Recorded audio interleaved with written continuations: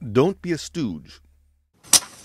Welcome to the Locofoco Netcast, number five. The uh, subject today is the precautionary principle and the place for conspiracy conjectures. Or, don't be a stooge.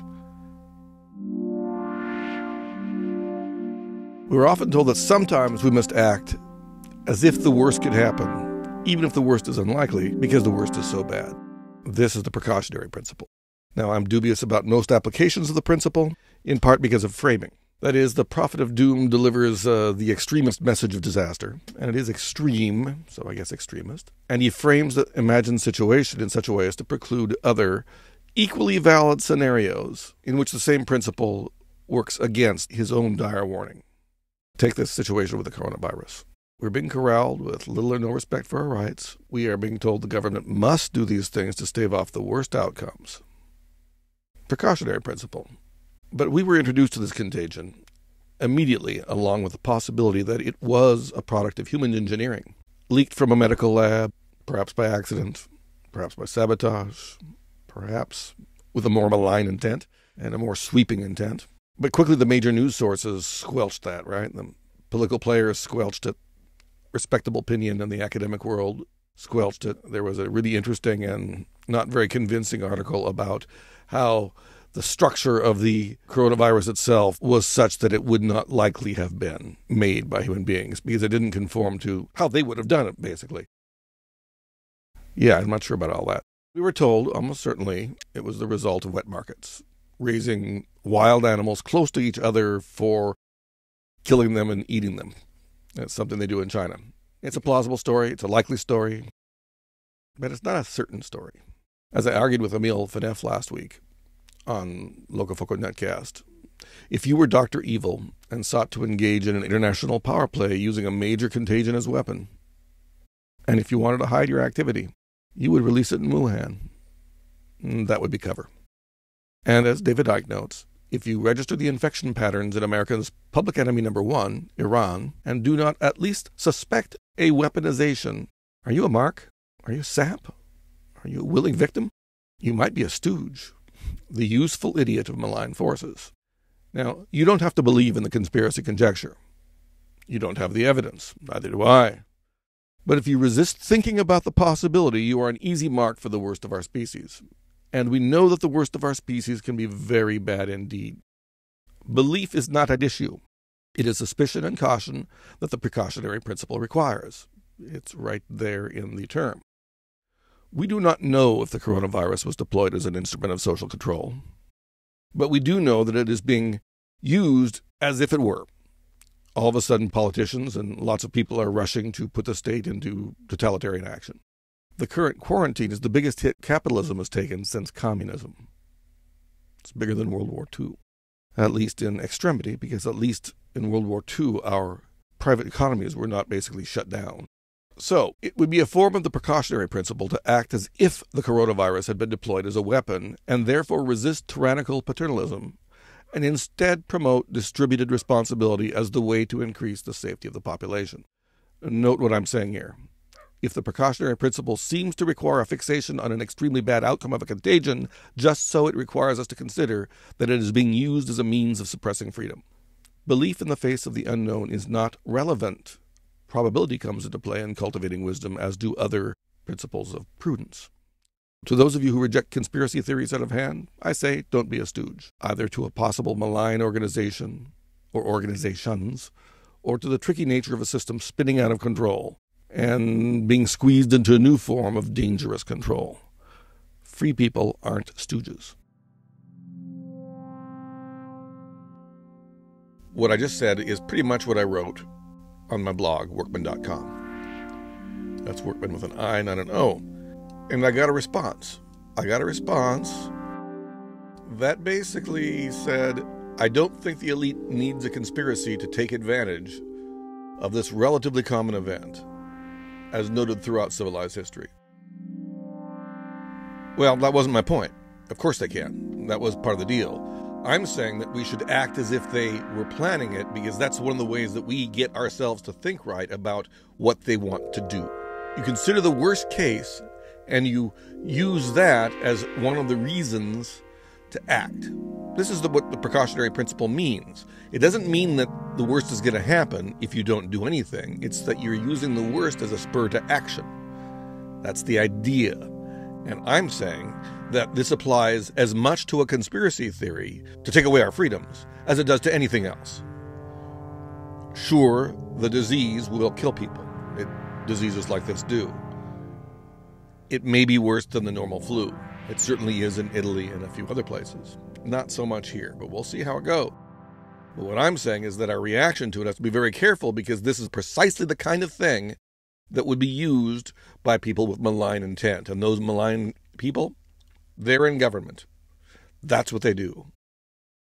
We don't know how deep this goes. We don't know if this is a plot or not. Does it matter? Well, I'm saying that you should consider the plot idea when you are prescribing measures to prevent the worst. Because one of the worst things that could happen is that this is an instrument to take away your freedoms. And if you allow being afraid of death or a loved one's death to take away everybody's freedoms and to make us all serviles, then you've lost it. Because this is always in front of us. This is the other thing that people don't seem to get. We're always in the position, every day with every policy, of using harm to a few as an excuse to make us all unfree. This is not new. There's nothing new about this. And I think that people should be more cognizant of how dangerous what's going on now because they can take away more freedom now and provide more precedent to take away more freedom in the future than ever before. And frankly, this does look like an exercise, which is actually what Pompeo said, isn't it? We're in a live exercise here. I mean, that should disturb you, shouldn't it? Shouldn't it? So, disambiguate what is it we're really dealing with here? We're dealing with a threat or a menace.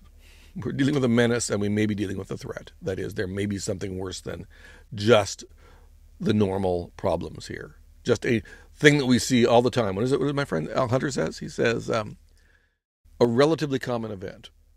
Well, there were a number of events like this in the Obama administration about which nothing was made. It wasn't a, it wasn't a big deal at all.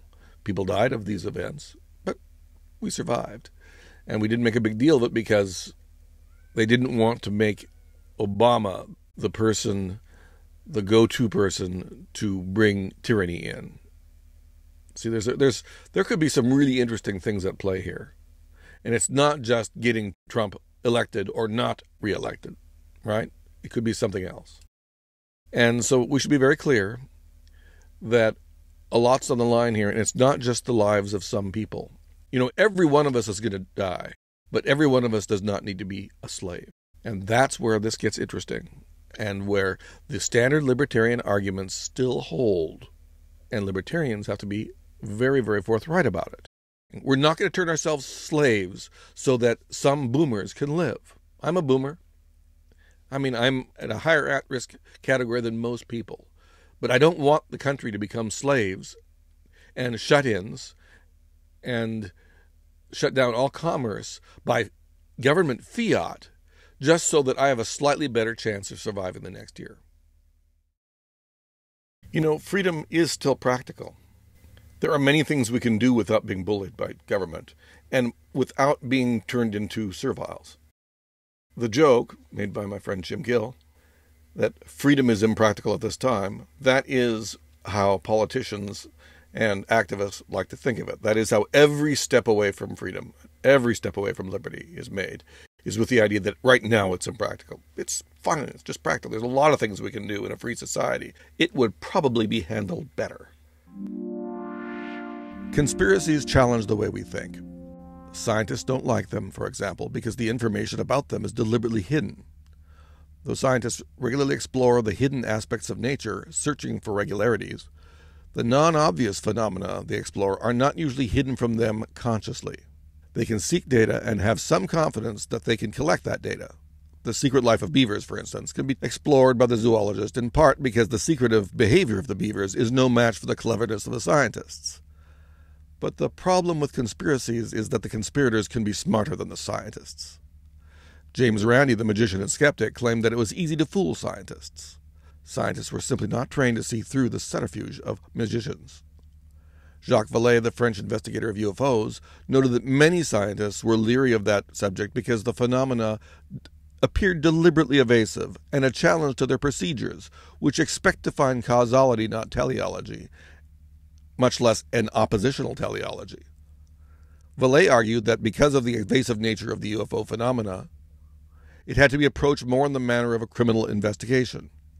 A criminal investigator may rely upon skilled scientific technicians, but investigation of crimes is not a scientific matter as such. The pretensions of Sir Arthur Conan Doyle, Quincy, and a host of subsequent TV cop shows notwithstanding.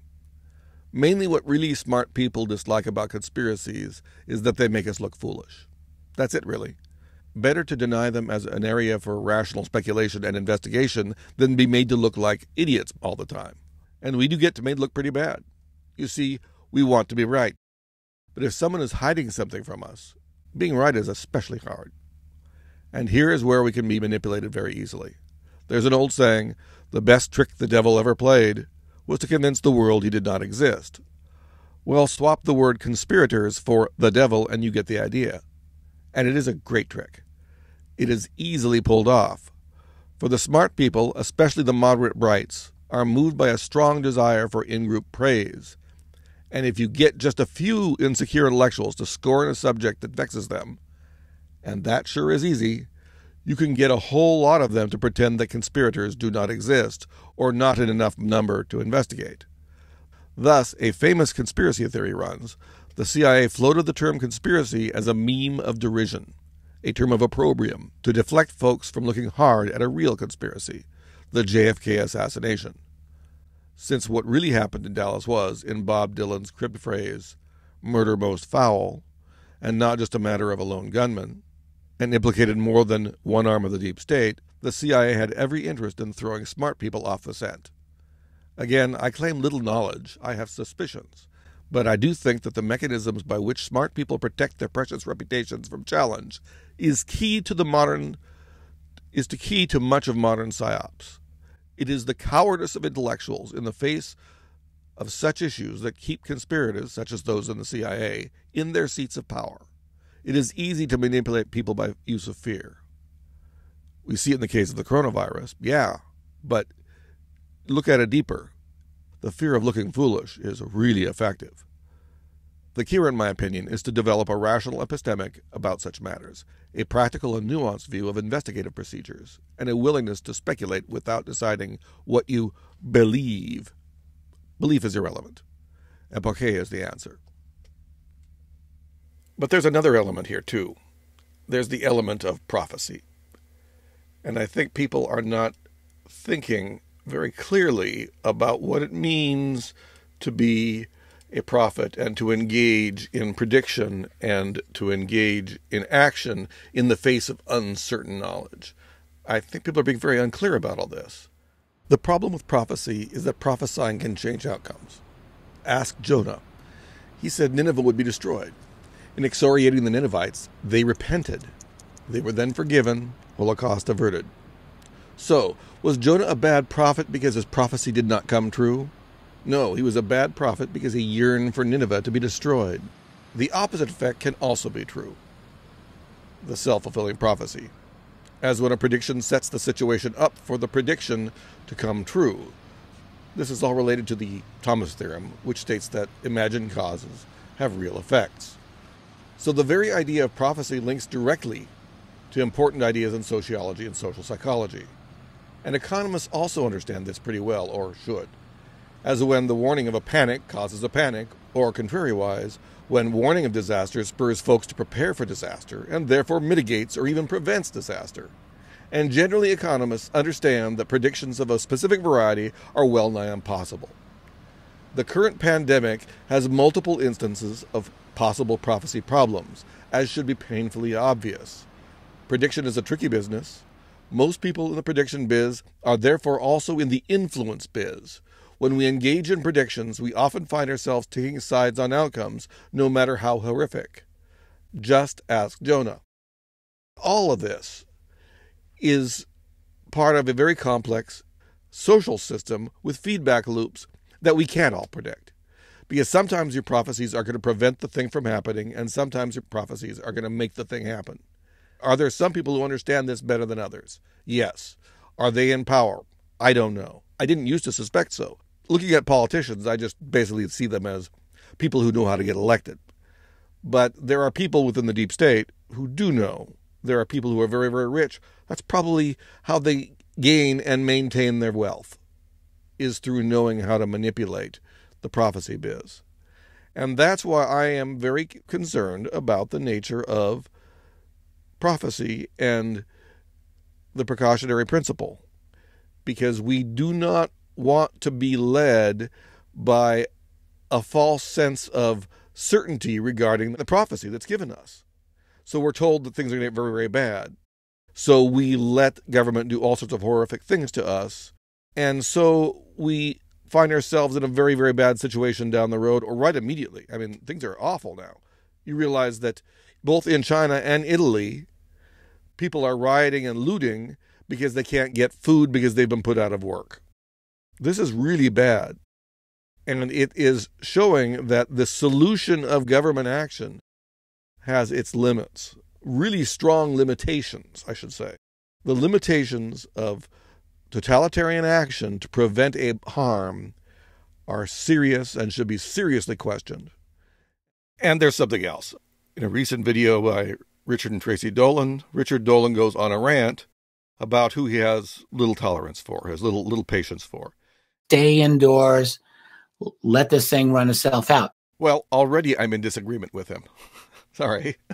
I thought I was going to go right into the meat of his uh, talk, and I can't do it because I don't know if staying inside is a good idea. People should go out for walks, but did you see that people in Britain are allowed only one exercise, walk, or run a day? Outside is a good place for you. You're not going to, if you just don't get close to people, you're not going to be recirculating disease out, out of doors. I don't think that's the case. I think you should be out Go into the woods. Jeez. I think there's something really wrong with this shut in idea. And in fact, if you have an older person in home or somebody with damaged or compromised lungs, if you have one of those people there, maybe you shouldn't be around them all the time. Maybe you should actually be masked when you're by them and that you should be outside more often. Maybe you should separate yourself out, people who are strong from the weak, and protect the weak. That's the responsible thing to do. I really don't like this idea of everybody being inside. I think you should go outside more often. I hope the weather gets better real quick. There was this whole deal about people going to the beach, too. I realize that kids in Florida on spring break are nuts and too close to each other. But, you know, I live in the Pacific Northwest, and going to the beach is largely a solitary activity. Maybe this is one reason why the Swedes have gotten away with almost no major hits to their economy because people keep their distances and know how to in Scandinavian countries. America, as uh, somebody at Liberty Magazine used to say, is a nation of scandalous overhuggers. Stop it, people. anyway, back to Richard Dolan, where he makes his main point. We all, most of us, lived through 9 11, and we all know how we were just completely lied to and hosed by that event. It was very obvious to many diligent researchers in the quick aftermath of that, there was something wrong. And within a few years, it was a, a large community of researchers. And now we're 20 years into that whole post 9 11 nightmare. And I think most thinking people realize, yeah, that was a big pack of lies and it created the ultimate false flag to turn our world into a, into a police state. So we've all lost trust with our political institutions. We've all lost trust with our media, rightly so. Rightly so. But now I'm hearing people say the virus is simply a plan by the elites to keep you all inside and to and to chip you. Bill Gates with his vaccine is going to microchip your health. And make no mistake, a lot of that nasty stuff is going to happen. It's going to happen. But this is what I'm saying right now. All right. This virus is not a game. This virus is not a fake. This virus is not a hoax. It could be totally man-made out of the bio four, uh, bio level four bioweapons lab out of China. Probably. All right, there are arguments about about each permutation of this, but yeah, probably. Was it done deliberately, or did it come out by accident? I don't know, and guess what? You don't know either. No one out there really knows this. Uh, could very well be man-made. But the fact is, it's out. and it took what was the first uh, from zero to 100,000 infect uh, total infections that we know 67 about. days. 67 days, and then the next 100,000, 11 days. 11 days, from 67 days to reach 100,000, another 11 days to reach 200,000, and then It was Four- three, three or four, four days. four days to reach another 100,000. All right, so that is what we call exponential growth, and that is no game. Now, fortunately, the mortality rate is lower, or it seems to be lower than what it's like when it was coming out of China at 3.4%. That was outrageously high. It now seems you get people basically saying 1%. No one really knows. In Italy, it's really high. In other places, it's high. Elsewhere, it seems to be lower. Let's just say 1%. So that makes it 10 times more deadly than a flu and way, way, way more contagious. So that's where we're at. I have a family member who's in an intubator right now in an ICU, you know, and I'm sure many of you have people now that you know where this is happening to them. Uh, this is very widespread and we're only beginning. So again, I've got no time for those people who are like, ah, no big deal. I'm just going to go out. I'm going to do my thing. Flights are cheap. And I'm just going to go kill grandma because I don't really give a crap and I'm fine. And I'm just going to like let the hospital system get crushed in a tidal wave that it cannot handle. I got no patience for that. And I have really very little patience for those people who are absolutely convinced that they know everything about how this started and that they know it's a plot by the elite. Newsflash everything is a plot by the elite, everything is used by those people with power to manipulate the world for their benefit. That is absolutely true. But that doesn't mean we should not be doing everything possible right now. It doesn't mean that we should do everything possible right now. Most things possible to solve a problem are bad things. That's what living in, in a free society is all about, is that you discount and you rule out of bounds a whole bunch of things that could be done. We could solve all sorts of problems by just turning people into drones, turning them into robots, turning them into nothings, not even human. And Richard Dolan knows this. He's just gotten caught up. Well, he has a family member that's in bad condition. I've read a lot of insane things, worse than Dolan's, elsewhere on Facebook by reputable people who, because of their illness, are freaked out. Well, stop freaking and realize that not everything is going to be done for your sake. It really doesn't require that everything be done. Most things shouldn't be done, even if some of them would prevent problems. Because, you know, this world isn't one where you solve problems in public policy. There are only trade offs. There are only trade offs, and that means some of the trade offs means that you have to accept higher casualties for other good outcomes, like the fact that people aren't going to starve to death in India and starve to death in Italy and China because they've been prevented from working. This is a bad situation, and we cannot go off half cocked because you think that doing everything in your power is a good idea because we have a bad situation. That's simply not the case now, nor is it ever the case. We're all going to die sometimes. Some of us are going to die in the next few days. I may not survive this. But I'm not asking everybody to become slaves or become peons so that I can survive.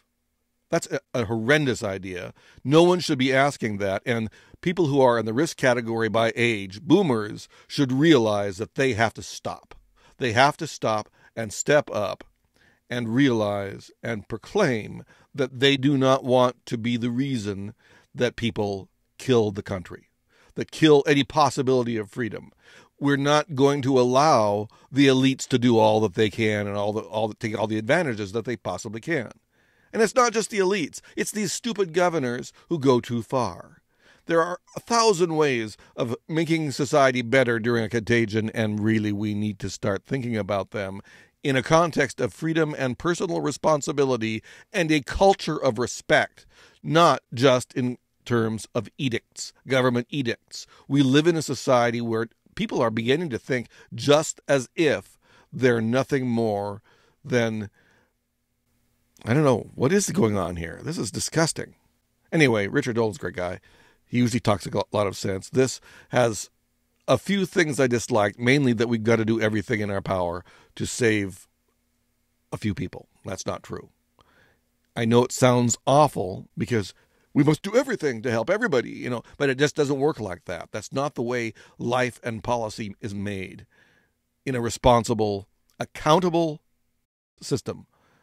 Whatever that government would be, and I'm talking, there are many forms of government that we could be talking about and not just our alleged democracy.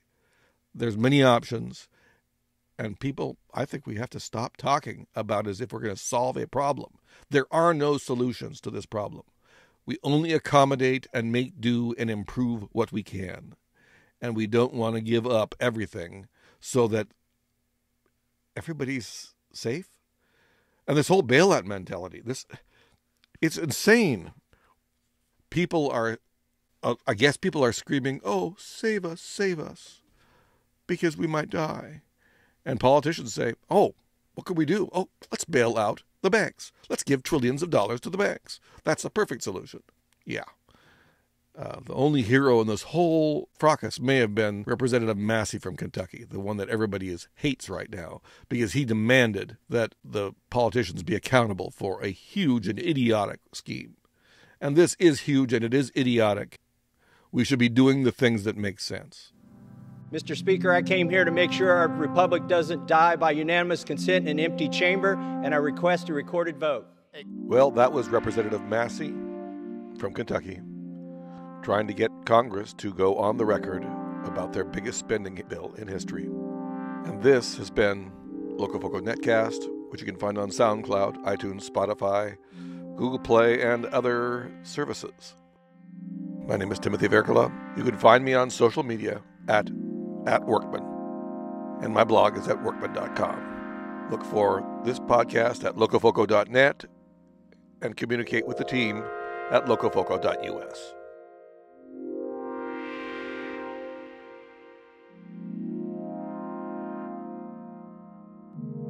Oh, let's do a final thought. Here we go. Intellectuals, as a class, were long ago parasitized by the memeplex of subjugation and servility it takes many forms, socialism being only the most obvious. With the coronavirus panic and quarantine, we see this method rolling out in the general population. It is a very hard meme to resist. We should try.